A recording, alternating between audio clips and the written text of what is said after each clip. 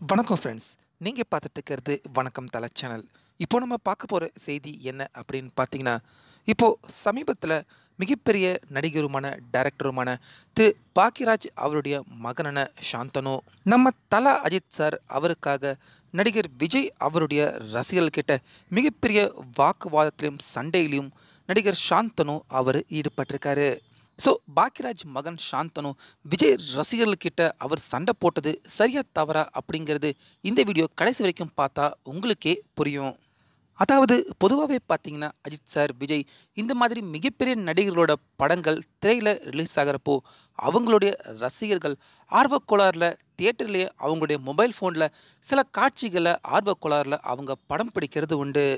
இப்படி இருக்க சமீபத்தில் அஜித் சார் நடிப்பில் ரிலீஸ் ஆகியிருந்த நேர்கொண்ட பார்வை படத்தை தியேட்டருக்கு பார்க்க சென்றிருந்த சாந்தனு அவர் பக்கத்திலேயே பார்த்தீங்கன்னா ஒரு ரசிகன். படம் போட ஆரம்பிச்சதுல இருந்து எல்லா காட்சிகளையும் தொடர்ச்சியாக அந்த ரசிகன் அவருடைய மொபைல் ஃபோனில் படம் பிடிச்சிக்கிட்டு இருந்திருக்காரு. இப்படி இருக்க இதை பார்த்த சாந்தனு அவர் ரொம்பவே கோபம் அடைஞ்சு அந்த ரசிகன் கிட்ட போய் அவருடைய மொபைல் ஃபோனையும் பிடுங்கி அவர்கிட்ட மிகப்பெரிய வாக்குவாதத்திலும் சண்டையிலும் ஈடுபட்டு அதுக்கப்புறமா அந்த ரசிகனை தியேட்டர் மேனேஜ்மெண்ட் கிட்டேயும் சாந்தனு அவர் பிடிச்சு கொடுத்துருக்காரு.